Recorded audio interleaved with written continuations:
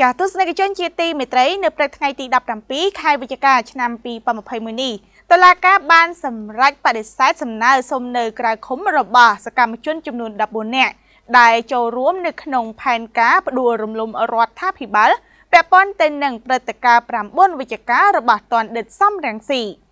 បន្ទាប់ពីសាវនាការមុនអង្គសេចក្តីអស់ពេលមួយព្រឹករួចមកចៅក្រមប្រធានក្រុមប្រឹក្សាជំនុំជម្រះនៅព្រឹកថ្ងៃទី17ខែវិច្ឆិកាឆ្នាំ2021នេះបានសម្រេចបដិសេធនៅការស្នើសុំនៅក្រៅឃុំរបស់ជនជាប់ចោត14នាក់ដែលចូលរួមក្នុងផែនការប៉ុនប៉ងផ្ដួលរំលំរាជរដ្ឋាភិបាល9វិច្ឆិការបស់ទណ្ឌិតសំរងស៊ីជនជាប់ចោតដែលស្នើនៅក្រៅឃុំទាំង14នាក់នោះរួមមាន1ខុតជ្រឹក2ងិនខៀង3លុងផារី4កៅថៃ5ថៃគុន្ធា6ជំច័ន្ទ7ញ៉ែមវ៉ាន់8សុនថន9ខំភីណា10សុកចន្ទថា11ពីតម៉ាប់12យឹមសារ៉េត13កកកំភរៈ14ហេងច័ន្ទសុធីហៅធីពួកគេបានស្នើសុំនៅក្រៅឃុំតាមរយៈមេធាវីលោកសំសុគង្គបាទតាមមន្ត្រីតុលាការសំណុំរឿងដែលលើកយកមកសវនាការនៅពេលកន្លងមកពាក់ព័ន្ធនឹងផែនការ9វិច្ឆិកានេះមានចំនួន4សំណុំរឿងហើយជនជាប់ចោតដែលត្រូវកោះហៅមានចំនួនសរុប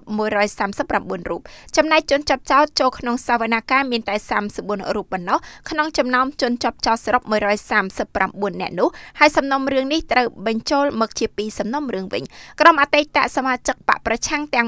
139នាក់ត្រូវបានតុលាការកោះហៅឲ្យចូលខ្លួនមកជំនុំជម្រះទោសលើបទចោទប្រកាន់រួមគំនិតក្បត់និងញុះញង់បង្កឲ្យមានភាពវឹកវរធ្ងន់ធ្ងរដល់សន្តិសុខសង្គមដីកាកោះហៅនេះត្រូវបានសមត្ថកិច្ចយកទៅបិទនៅអតីតស្នាក់ការអតីតគណៈបកសង្គ្រោះជាតិកាលពីរសៀលថ្ងៃទី14ខែវិច្ឆិកាឆ្នាំ2020ក្រុមមេខ្លងផែនការ9វិច្ឆិកាកាលពីថ្ងៃទី1ខែមីនាឆ្នាំ